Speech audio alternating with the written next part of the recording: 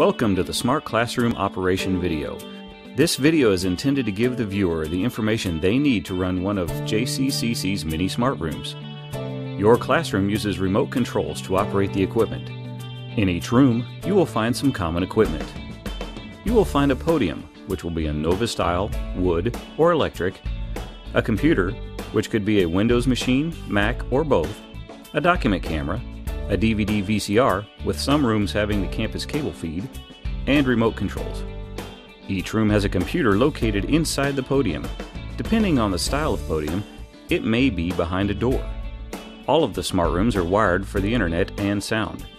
If not already on, start the computer now. Your room uses remotes to control your equipment.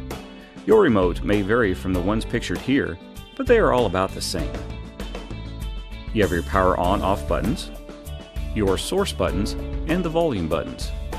Press the power button to turn on the projector. You may need to point the remote at the projector. It will take a minute for the projector to fully warm up and be ready for use. You may have to lower the screen if it's not already lowered.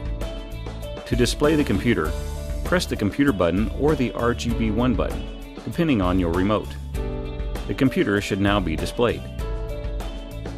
Depending on the style of your podium, the document camera will either be on top or, in the case of the wood podiums, in a drawer on the right side. To use the document camera, make sure the camera is on by pressing the power button or raising the arm.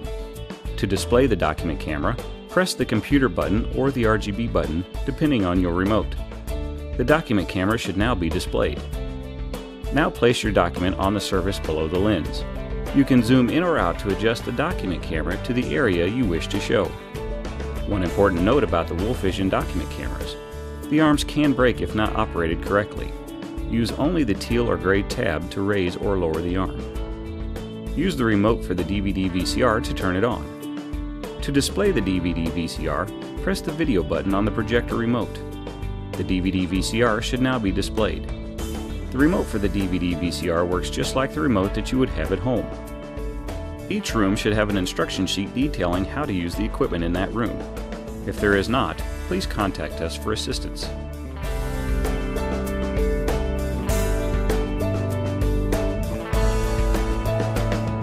Finally, don't be afraid to use the equipment. That's what it's there for.